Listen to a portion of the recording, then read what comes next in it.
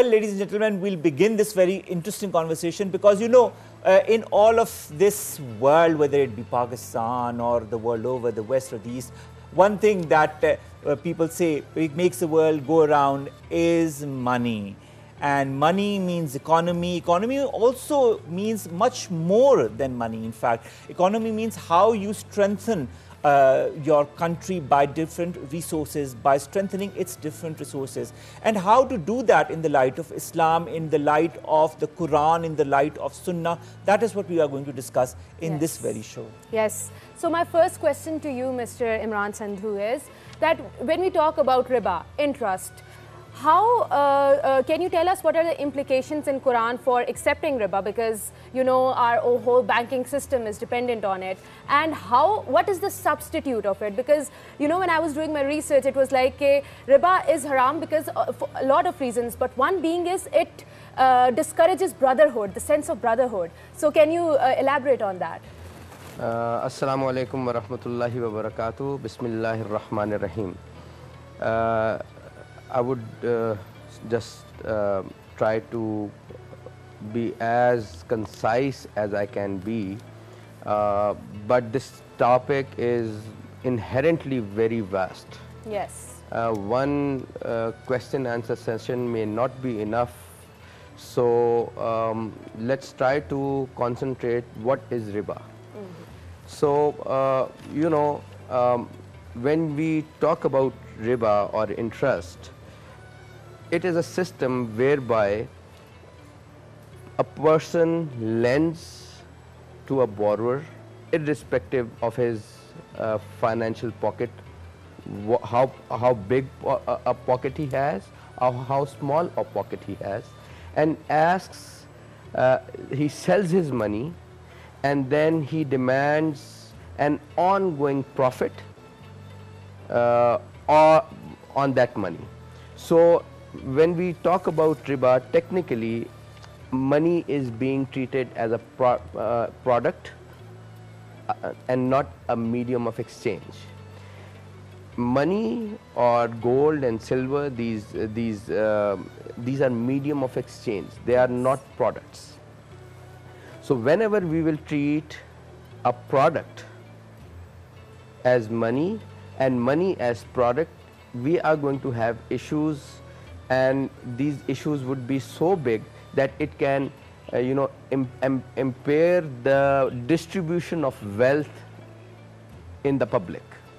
What happens is uh, you know economically speaking mm -hmm. there are four factors of production mm -hmm. land, labor, um, capital and enterprise economically speaking technically uh, Islam actually recognize them as three, there are three factors of production, land, labor and enterprise. And the capital, that uh, capital is a medium of exchange, not a, not a factor of production. It helps to convert these factors of production into economic transactions. Mm -hmm. It's a helping aid, it's not a real product and that is why uh, Quran actually you know the Quran used the word zulm. Mm. when you know the real reason why riba is haram is because it is zulm. And it exploits people. and it and you know the basic reason is zulm. Mm. and whenever the zulm is going to come in the, it is an atrocity. It is a it is a it is a source of economic terrorism. Mm -hmm. It terrorizes the, uh, the, the, general public, mm -hmm. you know. So, whenever a zulm would occur, then, you know, the, the aftermath of would be uh, unjust distribution of wealth. All right. Unjust right? distribution of wealth, when we talk about that, Faheem Sadasab, I'd like to have your input as well. Unjust distribution of wealth. There is this whole uh, misunderstanding or misconception between profit and interest. How do you make a simpleton, a simple normal man understand the difference between the two? Uh, that's a very that's a, a, simple question, but it, it requires a lot of explanation. And Surah Baqarah 275 and 276 are explicit about this, that profit is something different, interest is something different. So uh, in my book, I've described these things with in extensive detail. It's called the new finance construct. Yeah, and I've uh, cracked the interest code in the sense there is an alternative which I've proposed, All right. not just for Pakistan but for the entire financial system because I'm from finance. Um, when you talk about um, uh, when you talk about uh, this structure, you have to bear in mind that uh, this is evolved. This is not something that just happened yesterday. This system has evolved over the past 400 years and it's been evolved very carefully without alternatives being brought into it. So you have to keep that in the backdrop when you're going to discuss anything. If, um, if uh, a simpleton is supposed to understand the difference between interest and profit, you have to under, you just have to try to explain to them, was there a loan involved? And was there something in excess of a loan? For example, in my book, I've given the example of goats. I start from goats. Okay, if I were to lend someone four goats and I want five in return after one year, so what is that? That's basically interest hmm. because I want 25% interest. Now, if I lend 100 rupees and I want 25% interest on it, it's the same thing. Now, what is the differentiating factor here? Because uh, I can clearly see you're like, what's the difference between profit and this? You have to go down to the genetics. Why is interest clearly not allowed in Islam by Allah Almighty? Because, because according to my research, interest isolates risk. Now, let's go back. Everything is proportionate in business, in economics. High risk, high return, low risk, low return.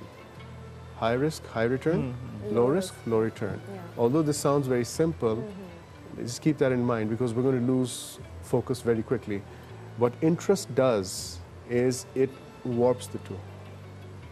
Low risk, high return. And all the risk goes onto the borrower. Mm. Now, what that does is because it's based on a transactional mechanism backed by military force, you have to honor it.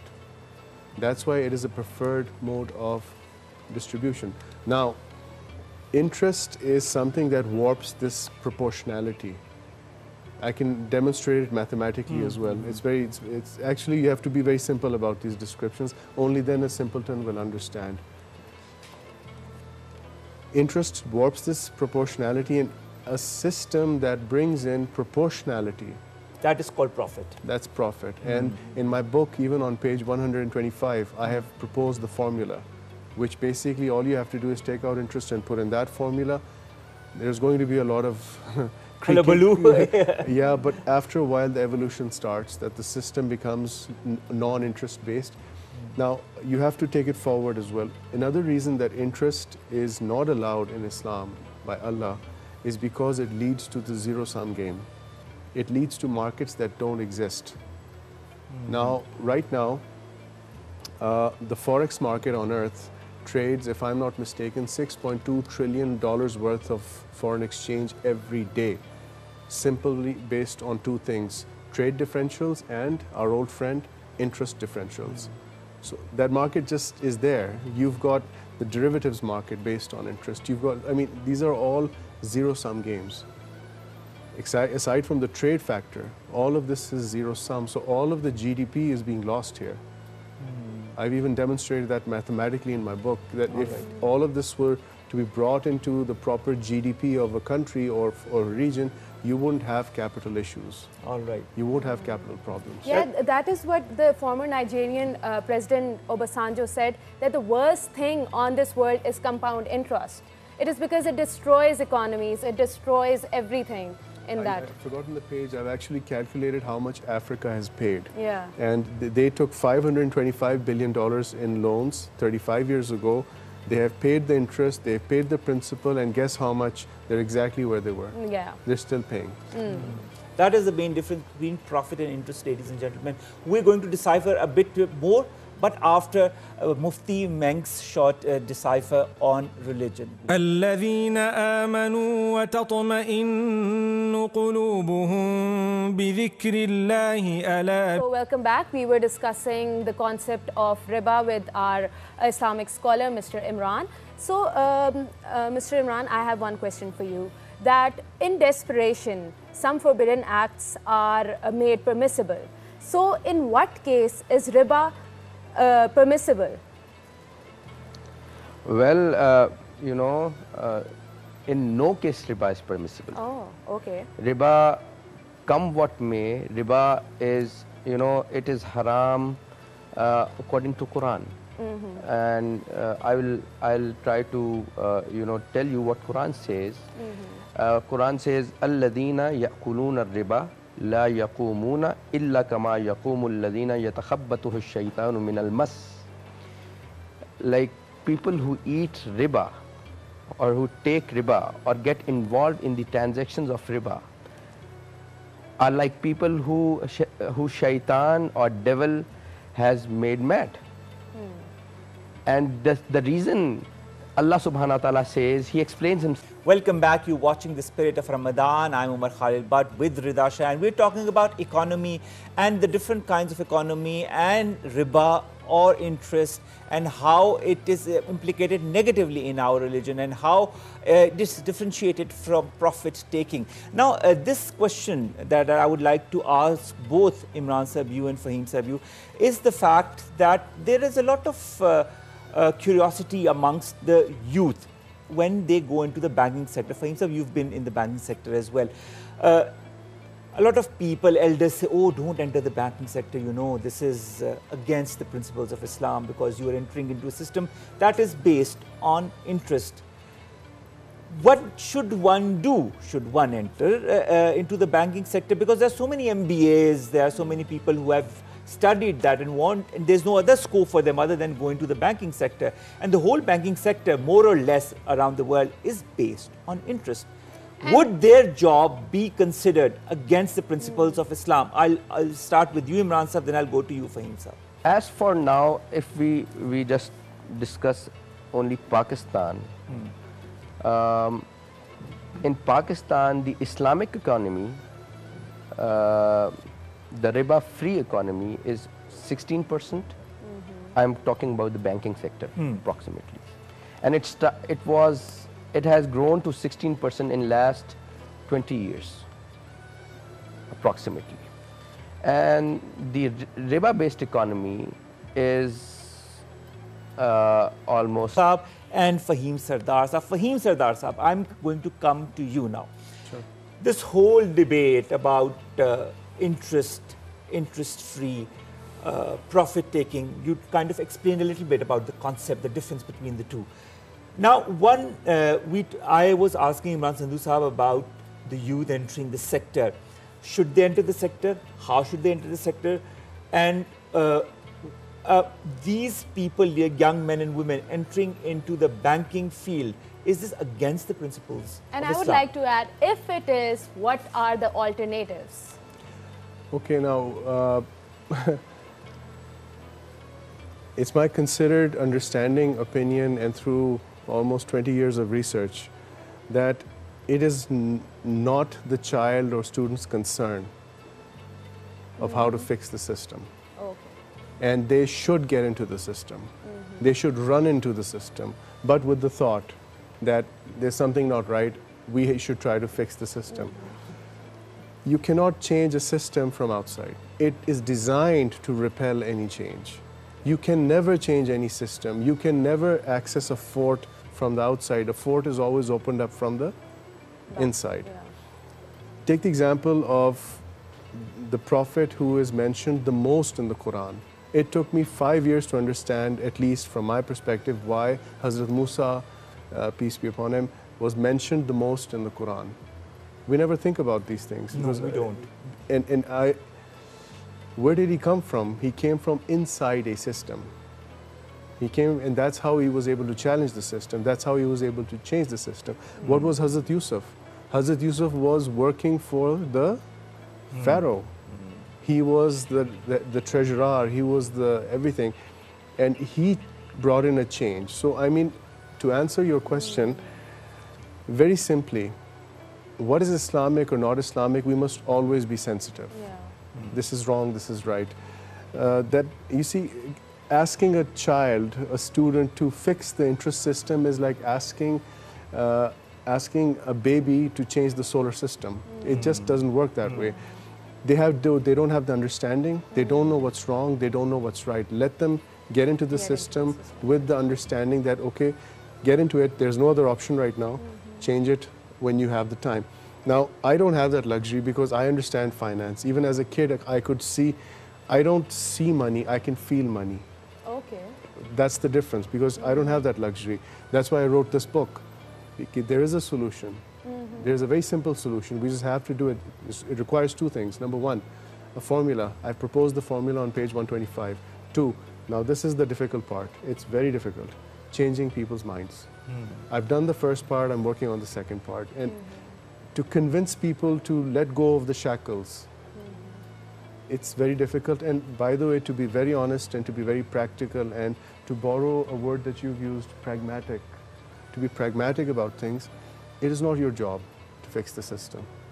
But what we can do, we can create awareness regarding this. You can right? create awareness, you can try to understand what the actual problem Yeah. is, what is actually wrong with the system. Now, I have put up my thoughts for debate. Mm-hmm. Please debate with me if I'm wrong or right. Mm-hmm. But I have stress tested my concept, the, the, the, the financial economic system that I've proposed in every aspect.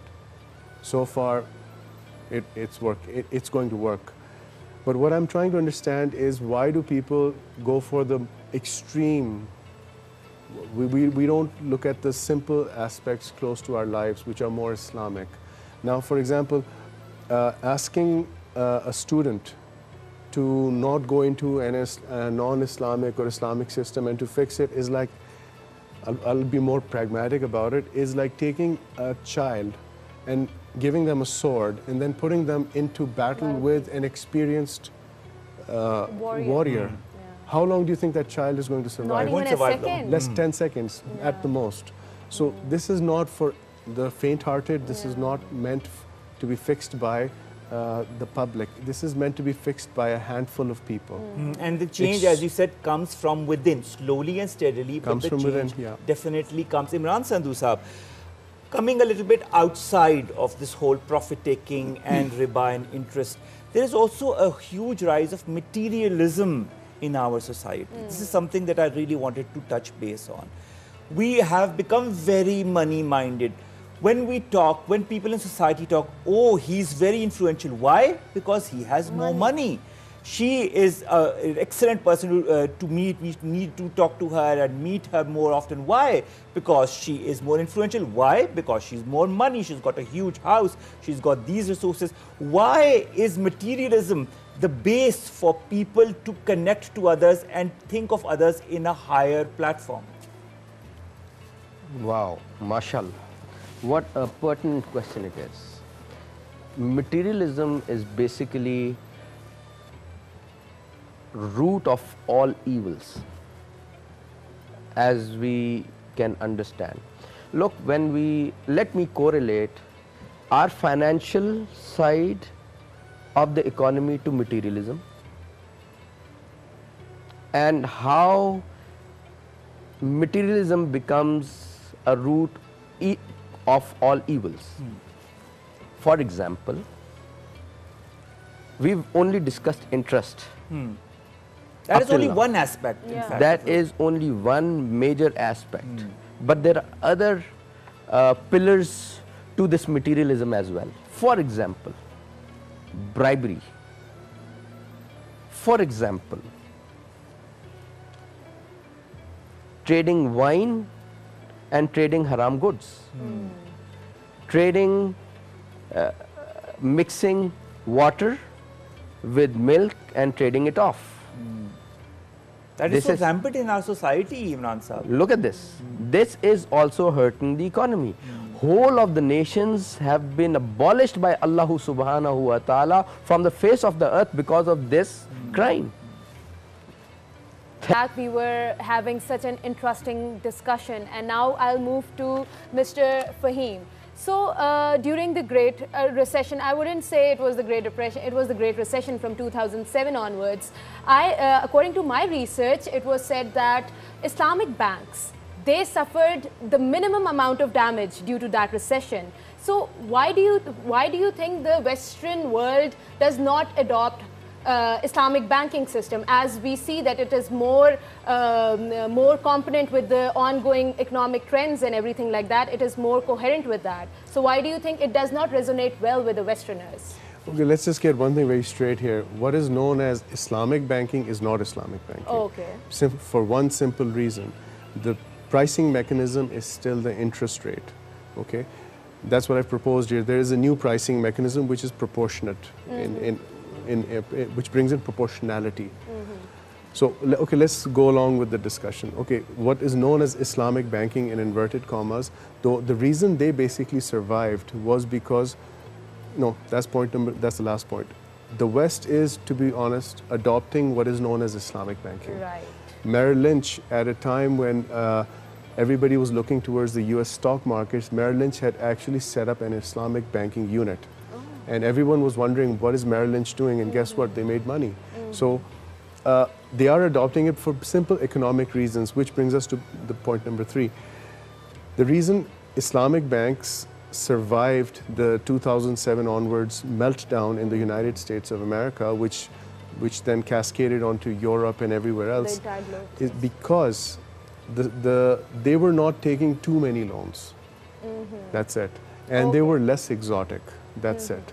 What was happening in the, in the, in the, the typical banking and investment banking system was, uh, I've described it in my book, that when the pharaoh was building a, a pyramid, it- uh, it's it- it's, it's bigger at the bottom, Yeah. smaller at the top. yeah Now, you might think I'm being very stupid here, but, but believe me, we have people who do much worse than what I'm saying here. Mm-hmm.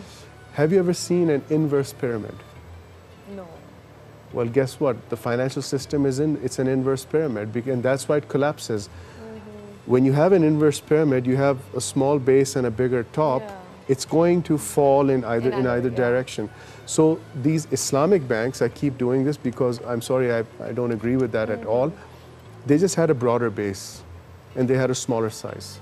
that That's the only sense. thing. Oh. And because the layering of exotic products was not there, mm-hmm. hence the smaller size. Mm-hmm. Now, what happened in the traditional uh, banking and investment banking markets was these products were layered upon each other. Mm-hmm. Derivatives upon derivatives upon derivatives, bets upon bets upon bets upon bets. So when one thing sparked, everyone thought it, nothing's going to happen. It just Dominoes started. effect. It started having a domino and a, and a cascading effect, and that mm-hmm. started a process which America has not recovered from. Hmm. since then Since then, every month, America pumps in 90 billion do- dollars worth of money into their markets. People don't know about this. Mm-hmm. So I keep telling people who want to go abroad to study, that's a bankrupt country. Why do you want to go there? Go to China if you want to study. anyway, so uh, the, the, the bottom line, and just to uh, be very simple about it, is that what, what we call Islamic banks, uh, they have a slightly more conservative lending process. That's it. that's, That's it. That's it. And they have the same interest rates Yes, they, they price it. You can call it whatever you want. You can call it markup. You can call it profit and loss sharing. No, no, no, no. All right. That's Uh, Imran Sandhu Saab, the whole materialism aspect of what we were discussing before the break, how does that uh, have a cascading effect on the economy, on the general lives of people in a society? Because he, Faheem Saab was talking about cascading effect of banking. I wanted to kind of put that cascading effect into materialism and its effects on the society. Well, the, uh, we, uh, you know, the human nature. Let's go into deeper into a human nature naturally a human being is has been made from the best of the molds. لَقَدْ al-insana fi أَحْسَنِ تَقْوِيمٍ hmm. I have created man from the best of the taqweem or mold. Hmm. ثُمَّ رَدَدْنَاهُ أَسْفَلَ سَافِلِينَ But then I have made him go to the lowest of the low. Illa إِلَّا amanu wa وَعَمِلُوا salihati So not those who are people of Iman and do good deeds. Falahum ajrun ghayru mamnoon. You know, what is the mold that Allah subhanahu wa ta'ala has created us from? It is on top, hmm. the soul. Second, our mind. And third, our bodily desires right? Or our body. Body has desires. It has to eat. It has to begin food. It has to go and you know uh, reproduce. These are all desires that a human body should have. But then there are ways to, you know, ways to uh, get those desires completed. What is the principle of getting those de- desires completed? The soul has to tell the mind, and the, then the mind has to tell the body.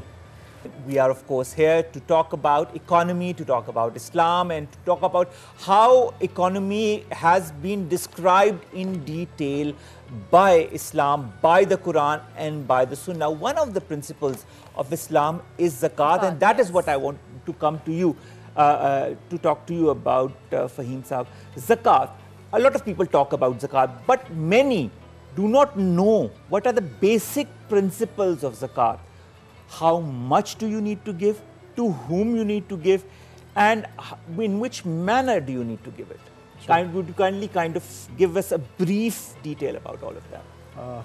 Sure. Zakat is obviously uh, what is zakat? Zakat is basically, uh, I'll, I'll speak in very simple language. Hmm. It is automatic pruning. It is automatic pruning of excess capital. And it is basically the diversion of excess capital, pruned excess capital to those who don't have capital. Mm-hmm. Simple. Now, if you, it's, it's actually a concept that is being enforced in the West mm. under a different name, Social Security. You see, people don't don't. That is so true. Yeah, Europe, especially. Absolutely, and then let's dig deeper. Uh, people like to like to talk about the French egalitarian system and the Swedish system and everything. The French system is based on Code Napoleon, and Code Napoleon is based on the Quran minus the punishments. The Swedish social system is based on Hazrat Umar's uh, social system. So, I mean, uh, it's not far from, we don't have to go there and study anything. We just need to sort of open up our books and, you know, dust it off and study what used what and we used- actually implement it actually implement it, right? Yeah. Absolutely. So zakat is, is automatic pruning, which is what is pruning? Pruning means growth. When you cut something, it will grow in a little while. So if you have excess capital that you're not using, if you have excess assets that you're not using, it is advisable to just calculate the amount, how much is in excess that you haven't used in one year, and whatever the figure uh, is, uh, comes up, just give 2 to 0.5%. I usually do it by 3%. Just make it. of the excess capital that Yeah. you have not used in a period of Yeah. one year. Yeah. And I would like to add here is that we always uh, think that zakat is from the lands we have or the gold we have. I think if we have more clothes in our closet and you know things, shoes like that, we can donate to charity. Do, does that come under zakat too? I, uh, I think uh, scholars can basically answer that Answer that, question. right. I think you should add to it. I think you should add that into zakat because it's something in excess. You don't need it. Now, the only thing that I, being from the corporate sector and uh, being constantly uh, uh, absorbed in finance, is I would just like request people to, when you're giving zakat, try to help someone set up a business. Sustainable Don't just give them money. Don't just give them money. Give them a small plan, business plan. Ke, I'll fund your business. That's what Muhammad Yunus did with Really? Grameen Bank. Micro. there you uh, go. Be- because you see, Pakistan uh, may have debt issues, which frankly I don't agree with. Uh, that's another debate. But we are the, I think, possibly one of the most charitable countries on earth. So if you have, let's put the numbers to this discussion. If we have, let's say, 500 billion to 700 billion rupees uh, being given out as zakat, do we even realize how much capital that is? So many businesses, so many Can SMEs can be set up for for for the uh, for the for the for the for the needy. Yeah. They don't need to ask for money again. But you see, I'm being utopian. I understand, but we have to start from somewhere. Mm-hmm. Giving someone money and then giving someone money and telling them ke Use your Invest money in this manner. in this Yeah. manner so that you set up an SME mm-hmm. so that you can start earning money and after three years you're going to be giving money to others. So there's a there's a multiplier effect. Mm-hmm. There's that chain That Doppler effect, in fact. exactly. There's the economic chain reaction that you have to cause. Imran Sandhu Saab,